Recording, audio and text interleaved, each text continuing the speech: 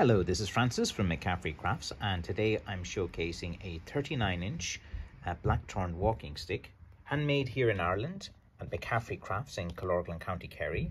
Um, this stick is, as I said, 39 inches in length, so it is pretty good for gentlemen who are, who are quite high.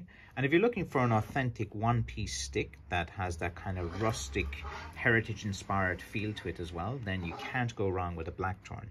Um, a Blackthorn walking stick is a very good country stick. It's a very good everyday stick as well. And uh, this one's pretty nice because it has a lot of the, uh, the, the knuckles and bumps as well, which are quite common on the, uh, the, the branches of the blackthorn. And uh, the handle as well fits in quite comfortably into your left hand or right hand as well. Here it is in my left hand and there's a nice little groove here for your thumb. Here fits in comfortably into the center of your hand and your hands can fit around here. Um, this one is a bit big for my hand, so my hand is quite small. So if you have a bigger hand, this would feel even more comfortable. So someone who is looking for a 39 inch stick, they're going to be well over six foot anyway, and I am below that. So now we switch it over to uh, my right hand.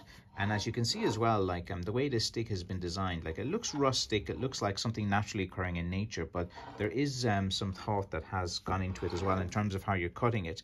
And uh, I really did like this particular groove and how it went on both sides because, you know, when you put it into your hand here, you can kind of rest your thumb here. Like sometimes you can rest your thumb down there if it's like quite quite a, a large thumb. There's a little groove there for you as well.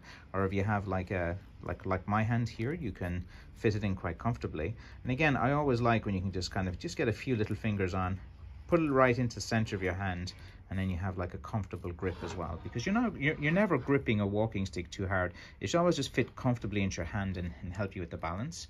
Uh, blackthorn is never perfectly straight as you guys know uh, but that's as well balanced as you can get. It's never like I perfectly straight.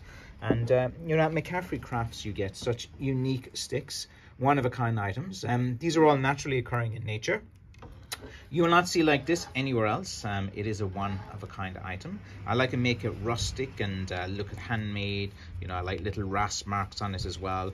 Um, I want to kind of make this look as authentic as possible, just like one of these uh, old style walking sticks as well. Um, so I make these kind of like rustic sticks as well. These ones that, uh, you know, you're, they're workhorses. They're meant to be kind of used as well. And uh, yeah, that's the style of Irish stick making that we do here at McCaffrey Crafts. Um, if you like my sticks and you're interested in a heritage inspired walking stick, or Irish heritage stick, um, go to mccaffreycrafts.com and uh, you can see my selection of walking sticks there. Um, I have some beautiful hazel sticks actually too and some amazing uh, chestnut. If you're looking for a really big type of uh, heavy knob uh, uh then you can look at the, uh, the chestnut collection. So um, thank you so much for supporting my business and uh, I do appreciate every guys in the in the walking stick community. Thank you. Bye bye